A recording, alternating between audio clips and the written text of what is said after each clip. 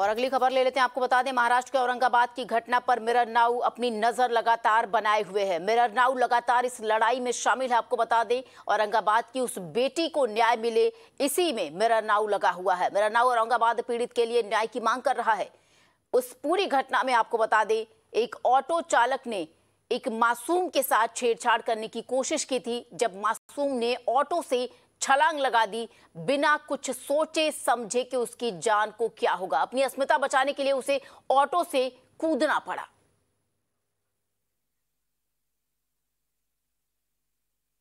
और इस खबर पर चर्चा के लिए आपको बता दें, हमारे साथ मेहमान जुड़ गई हैं। खुशबू जैन इस वक्त हमारे साथ जुड़ी सुप्रीम कोर्ट की लॉयर हैं। खुशबू जी, सबसे पहले आपका शुक्रिया हमारे साथ के लिए। एक ऐसी घटना है जो आमतौर पर शायद कोई नहीं चाहेगा कि इस तरीके की घटनाएँ हों हमारी बच्चियाँ जो हैं, मासूम बच्चियाँ, वो स्कूल कॉलेजेस में जाती हैं और आमतौर पर पब्लिक ट्रांसपोर्ट का इस्तेमाल करती हैं। करना भी पड़ता है क्योंकि हर किसी के पास पूरी तरीके से आर्थिक व्यवस्था की अगर बात की जाए तो उससे सक्षम नहीं होती। मेरा सवाल यहाँ पर आपसे पहला यही है कि परिवार की अगर बात सुने खुशबू जी तो लगातार परिवार कह रहा है कि उस शख्स को उस ऑटो ड्राइवर को फांसी की सजा मिलनी चाहिए, जिससे दोबारा कोई दूसरा व्यक्ति जो है, वो इस तरीके की हरकत करने से कांपे। लेकिन सवाल उठता है, जो हमारे पास सबूत हैं अभी, क्या उस सबूत पर कितनी कड़ी कार्रवाई की जा सकती है और क्या सजा मिल सकती है उस ऑटो ड्राइवर को? ये अगर आप देखेंगे तो किस टाइप के सेक्शन यूज़ होंगे 354 जो है आईपीसी का, वो यूज़ होगा। और अगर आप असोल्ट की बात करें, आप हरासमेंट की बात करें सेक्सुअल हरासमेंट की या स्टॉक की बात करें तो इनकी पनिशमेंट दो साल up to two years and fine या both up to three years and fine या बोथ है। तो आप कैपिटल पनिशमेंट या लाइफ इम्प्रिजनमेंट भी नहीं है इन सेक्शंस में। तो पहले भी मिरर नाव पे मैंने यही बात बोली थी कि जो हमारे सेक्शंस है, उनमें डेफिनेशन वेग है। प्रूव करना एक तो बहुत मुश्किल होता है। यहाँ तो सीसीटीवी में आ चुका है कि वो कूद गई है। इमेजिन अगर वो नहीं होता और अंदर वो ऑटो में ही होती तो वो जो बोलती, उसको प्रूव करना, फिर उसके ऊपर हमारा पूरा प्रोसीजर चलना बहुत बहुत टीरियस होता है वो सेक्सुअल हरासमेंट या असोल्ट या इसकी डेफिनेशन में कैसे बैठेगा। तो आई थिंक अगर मैं प्रेजेंट सिचुएशन की बात करूँ तो जो हम आ, सोच रहे हैं वैसा तो बहुत मुश्किल है अगर हम आईपीसी की बात करें but at the same time मैं भी यही बोलूँगी कि हमको हमारे लॉज को स्ट्रेंथन करना बहुत ज़रूरी है।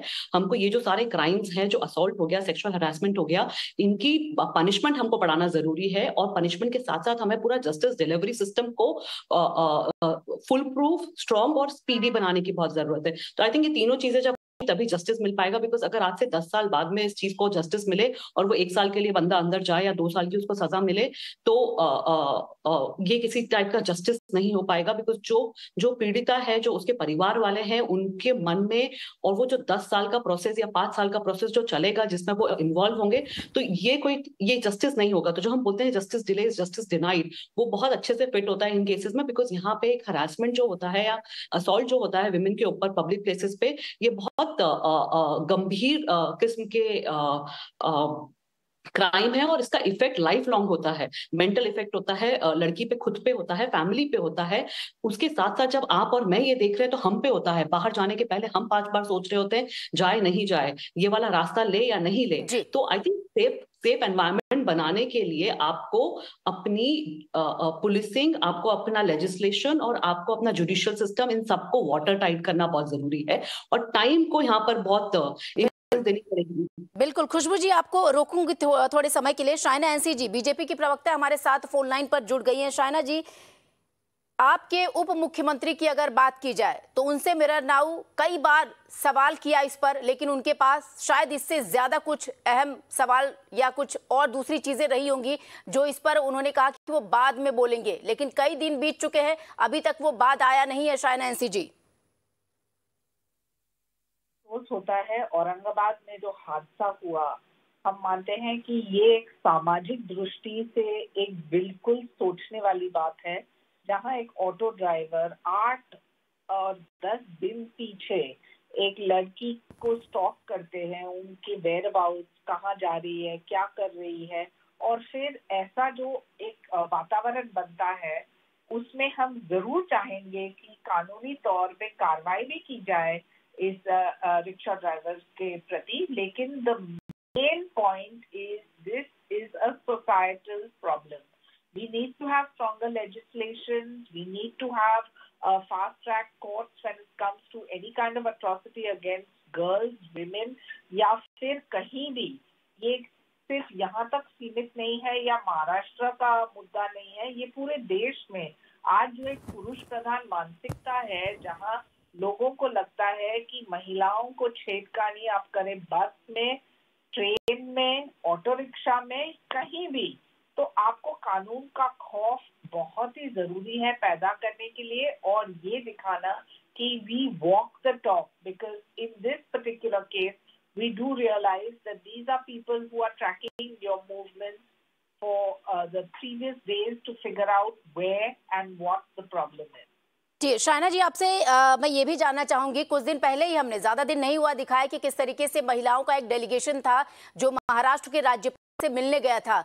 और कारण ये था कि महिला नेता जो हैं, उनके खिलाफ जो अभद्र टिप्पणी की जा रही है, उसको लेकर वो वहाँ पहुँची थी। तो मेरा सवाल इसी से जुड़ा है कि महिला नेताओं के प्रति जब अभद्र टिप्पणी की जाती है तो राज्यपाल के दरवाजे तक महिला डेलीगेट्स पहुँचती हैं। लेकिन इस घटना को कई दिन हो चुके हैं, नज़र नहीं आता।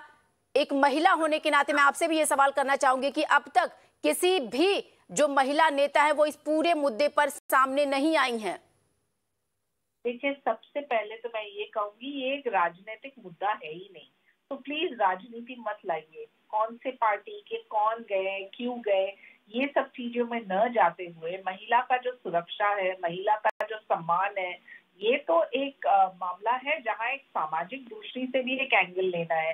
हाँ ज़रूर लेजिस्लेशन कानून का खौफ सिक्योरिटी ये बहुत ही महत्वपूर्ण है। लेकिन हम सब जानते हैं कि आज के परिप्रेक्ष्य में जब एक लड़की कूदती है ऑटो रिक्शा से अपने आप को बचाने के लिए ये एक आ, आ, एक ऐसा हादसा है जहाँ वातावरण में स्पष्ट रूप से ये सामने आता है कि समाज के जो दरिंदे हैं, समाज के जो पवर्स हैं, समाज के जो पुरुष प्रधान मानसिकता वाले लोग हैं जो सोचते हैं कि, अरे, हम कुछ भी करें, हमारे प्रति कोई कार्रवाई नहीं होगी, वो ये गया वो दिन और गया वो जमाना। और मैं महाराष्ट्र शासन के प्रति और देवेंद्र फडणवीस हमारे गृह मंत्री के तरफ़ से ज़रूर कहूँगी कि सजा तो मिलने वाले है ही। लेकिन हमें देखना है कि कैसे ऐसे हादसे न हो। जी ऐसे हादसे ना हो ऐसा तो होना भी नहीं चाहिए। अब इस पर रोक लगानी चाहिए। मैं आपसे ये जानना चाहूँगी कि सरकार की तरफ़ से अब तक इस पूरे मामले में और इस तरीके के और भी मामले जिस तरीके से आप कह रही कि गृह मंत्री से आप मुलाकात करेंगे उनसे बात करेंगी तो क्या कुछ अब तक किया गया है? क्या कुछ अपडेट आप मुझे दे सकती है? क्योंकि इस घटना को पाँच छह दिन हो चुके हैं। तो सरकार की तरफ़ से क्या एक्शन लिया गया है शायना जी? देखिए जब गिरफ्तारी होती है और वाटर टाइप केस केस करना है वाटर टाइप केस तो बहुत सारे प्रावधान भी लेने की आवश्यकता है। पुलिस पुलिस अपने तरफ़ से तहकीकात ज़रूर कर रही है। कार्रवाई जब होती है, तब प्रोसिक्यूशन को स्ट्रॉन्ग रखना, देखना कि ये जो गुनेगार है, उनको सिर्फ़ बेल न मिले। इसके लिए भी सोच विचार रणनीति की आवश्यकता है जो महाराष्ट्र सरकार कर रही है।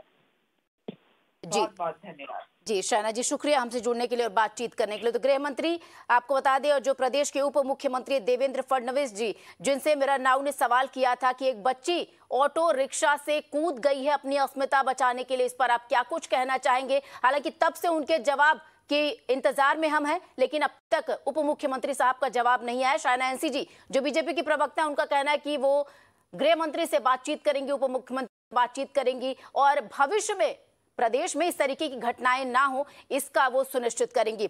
हमारे साथ खुशबू जी जुड़ी हुई हैं। खुशबू जी, क्या कुछ कहा? इन्होंने कहा कि इस पूरे मामले को राजनीतिक जामा ना पहनाया जाए। हालाँकि हम राजनीतिक जामा पहनाने की कोशिश भी नहीं कर रहे थे। सीधा था, सवाल था कि जब जो महिला नेता है, उनके खिलाफ अभद्र टिप्पणी हो जाती है तो आप लोग पहुँच जाते हो जो सुप्रीम है उस तक। लेकिन यहाँ एक बच्ची कूद पड़ी रिक्शे से। अब तक कोई जवाब किसी महिला नेता की तरफ़ से नहीं आया। फ़िलहाल चलिए छोड़िए। मैं आपसे ये भी एक सवाल करना चाहूँगी। आमतौर पर सबूत कोर्ट में एक बहुत अहम पहलू होता है ये। कोर्ट में जो मामले होते हैं, उदाहरण के लिए यहाँ पर मैं दिल्ली का छावला मामला रखना चाहूँगी, केस, जो छावला केस हुआ था। लोगों को इसलिए सुप्रीम कोर्ट से बरी कर दिया गया क्योंकि उनके पास कोई ठोस सबूत नहीं था। ये बाद में आया भी कि जो पिछले, यानी पुलिस हो गई या जो निचली अदालतें हो गई, उन्होंने अपना काम ठीक तरीके से नहीं किया था, जिसकी वजह से उन लोगों को बरी पड़ा। तो इस केस में, इस केस में जो एक सिर्फ़ सीसीटीवी फुटेज है, इसमें ऑटो ड्राइवर मुकर भी सकता है कि उसने धक्का नहीं दिया, लड़की खुद कूद गई। तो इस मामले में जो माँ बाप इतनी आस लगाकर बैठे हुए कि कड़ी से कड़ी सजा हो, किस लिहाज से देखती हैं और क्या वो सजा मिल पाएगी? कितना मुमकिन होगा कोर्ट के लिए? कितना आसान होगा कोर्ट के लिए? इसके लिए मैंने बोला था कि आपको एक टाइम लिमिट रखनी होगी इन्वेस्टिगेशन की, क्योंकि आप जब टाइम लिमिट लगते हैं तो एविडेंस को प्रिजर्व करना बहुत आसान होता है। अगर आप मना कर रहे हैं कि एविडेंस नहीं मिला, तब भी समय है उसके ऊपर इन्वेस्टिगेट करने का या क्रॉस इन्वेस्टिगेशन करने का। पर यहाँ पे जब आप बात करते हैं कि दस दस साल तक जब आप इन्वेस्टिगेशन करके आप बोलते हैं कि कुछ नहीं पाया गया, कोई एविडेंस नहीं मिले, या इसके खिलाफ कोई सबूत ही नहीं, कुछ कुछ प्राइमरी या सेकेंडरी एविडेंस भी नहीं मिला तो 10 साल के बाद में बहुत मुश्किल होता है एविडेंस कलेक्ट करना या उस चीज़ से रिलेट करना या कंजोनेट करना। तो आई थिंक टाइम आपको बहुत ज़रूरी रखना है। आप आप जब एविडेंस की बात करते हो तो बहुत ही इंपॉर्टेंट चीज़ है किसी को भी जस्टिस में किसी को भी आ, आ, किसी भी मैटर को चलाने के लिए। तो अगर आप एविडेंस की यहाँ पे बात करो तो जब आप इन सेक्शंस की बात करते हैं तो यहाँ पे बर्डन ऑफ़ प्रूफ हमारा होता है कि हमार, हमारे साथ में ये हुआ तो जो लड़की है इन सेक्शंस में लड़की खुद का जो विटनेस देती है उनका जो स्टेटमेंट है वो भी एडमिसिबल होता है एज एन एविडेंस तो ये जब आप क्राइम अगेंस्ट वुमेन की बात करते हैं तो एक बहुत अच्छी चीज़ हुई थी जो अमेंडमेंट हुआ था उसमें ये बोला गया कि अगर वुमेन है वुमेन के साथ में कोई भी क्राइम हुआ है तो वो अगर बोलती है, उसके साथ गई है और उसके साथ में कोराबरेटिंग एविडेंस होते हैं तो उसके जो एविडेंस उसके जो स्टेटमेंट है, उसको भी एज एविडेंस माना जाएगा। तो आपको कोई और एविडेंस लाने की ज़रूरत नहीं है। यहाँ पर लड़की का स्टेटमेंट है, यहाँ पर सीसीटीवी फुटेज है, यहाँ पर I think to an extent माना हमने पुलिस की जो पुलिस में जो स्टेटमेंट दिया गया है अक्यूज की तरफ़ से वो एडमिसिबल नहीं होता है कोर्ट में बट वहाँ से आगे जाकर या नार्को टेस्ट की जो बात कर रहे हैं तो आप उसके बाद में एविडेंस निकाले और एविडेंस को जमा करें और आगे बढ़े फिर से मैं आपको बोल रही हूँ कि आप अगर उम्मीद रख रहे हैं कि इसमें लाइफ इम्प्रिजनमेंट होगा या इसमें कैपिटल पनिशमेंट होगी तो लॉ हम्म। के हिसाब से जो सेक्शंस की इन्वॉल्वमेंट की हम बात कर रहे हैं या जो इंसिडेंट्स की हम बात कर रहे हैं उनमें पनिशमेंट इतनी ज़्यादा नहीं है उनमें punishment up to three years है और अगर अटेम्प्ट टू डेथ है या uh, ये चीज़ है तो 307 लगेगा तो उसमें आपको टेन इयर्स इम्प्रिजनमेंट मिल सकती है सेवन इयर्स इम्प्रिजनमेंट मिल मिल सकती है। बट अगर अगर सिर्फ़ सेक्सुअल हरासमेंट असॉल्ट या uh, बाकी सेक्शंस की मैं बात करूँ जहाँ पर पासिंग ऑफ़ ल्यूड कमेंट से स्टॉकिंग है तो इनकी punishments can not go beyond five years of imprisonment. That also start with you know up to so it can actually go one year six months and it can go scot free also if you don't find like, the proper evidence in a in a right place. Khushboo ji, आपका शुक्रिया हमारे साथ जुड़ने के लिए, बातचीत करने के लिए। तो लीगल फ्रंट पे लीगल एक्शन क्या कुछ हो सकता है? जो केस अभी तक दर्ज किया गया है, उस ऑटो रिक्शा ड्राइवर पर, उसे कितनी सजा मिल सकती है? हालाँकि माँ बाप जो लड़की के हैं, मासूम के, उन वो आस लगाए हुए बैठे कि उसको से कड़ी सजा मिले? बहरहाल, ये आगे भी अब निर्भर करता है कि इस पूरे मामले में कितनी तल्लीनता से छानबीन की जाती है क्या और धाराएँ लगाई जाती हैं ताकि उसके बिना पर इस ऑटो ड्राइवर को सजा मिल सके?